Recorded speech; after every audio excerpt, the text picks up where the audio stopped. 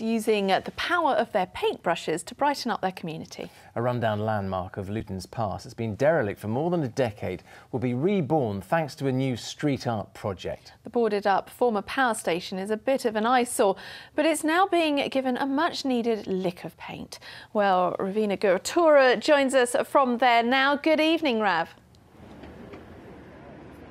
Well, good evening. If you're familiar with this part of the town, you'll probably recognise these hoardings outside the old power station here in Luton. Well, they've been given a new lease of life thanks to these brilliant artists. They're a bit dull and a bit boring at the moment, but thanks to these brilliant, talented people behind me, they've been given a much needed makeover. They spent the last few months transforming these boards outside what's set to become the home of the newly promoted Luton Town Football Club. Well, Amy, this is your brilliant piece of art here. What's the inspiration behind it? I want to do something that really promotes Luton and its talent in a positive light. So I've got uh, Jordan Thomas is karate champion of the world, born and bred in Luton.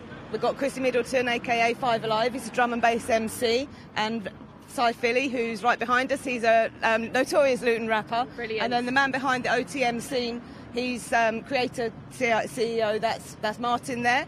And I just wanted to show what's going on and how, how positive Luton is and how you know creative we are together as a team. It looks brilliant. Who can get involved in this? Anyone can get involved. We just want as many artists as possible from all different backgrounds. You don't have to be graffiti artists. Just just get involved. Thanks very much. I'll let you, let you carry on now. Well, all these boards along here will be transformed. They've been given, they're going to become much more attractive, much more appealing to the eye, and much more eye-catching. Well, Sophie's busy at work here behind me. Sophie, just tell us a bit about what you're doing here. Um, yeah, so I've been painting eyes because my theme is Still I Rise, based on a novel by Maya Angelou, and also they're themed around Luton as well and its history.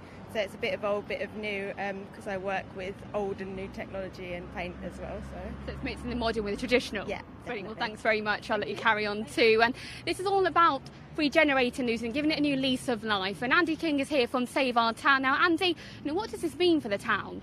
Oh, it's fantastic. I mean, the whole story is on uh, saveourtownluton.co.uk. Uh, but it's about rejecting stagnation and encouraging regeneration and turning battered blue hoardings into something really worth looking at. Yeah, it's fabulous.